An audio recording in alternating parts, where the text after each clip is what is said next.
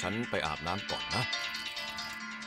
เธอคือทุกอย่างของฉัน อย่าทำให้ฉันผิดหวังล่ะ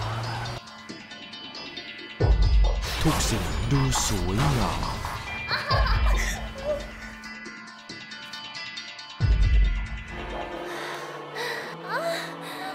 จนกระทั่งมันเกิดขึ้น บางสิ่งที่อยู่ภายใน ได้ปลดปล่อยสัญชาตญาณดิบของเขา